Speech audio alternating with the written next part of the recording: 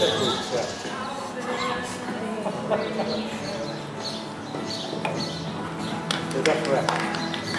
der Trainer der zweite Tischrang in 54,0.